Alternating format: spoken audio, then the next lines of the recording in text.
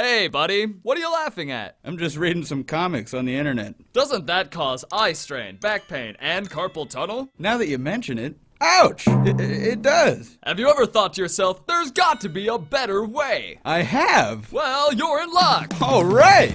Introducing the Cyanide and Happiness book. Wow. Don't let your friends think that you're uncool, unhip, and unliterate. It's a must have. Look at all the amazing things it can do.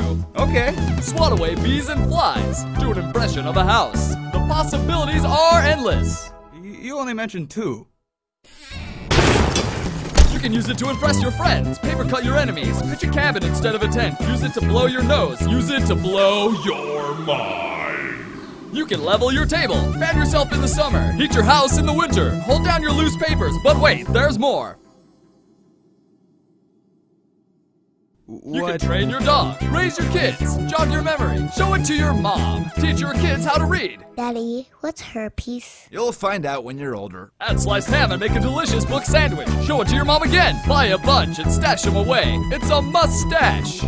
Okay, well, I gotta. Entertain your friends at parties. Make a splash at the office. Put it in your toaster. Put it in your mouth. Spit it out. Put it back in your mouth again. Yeah, you like that, don't you? All right, I'll buy your fucking book. Oh, I already got you one.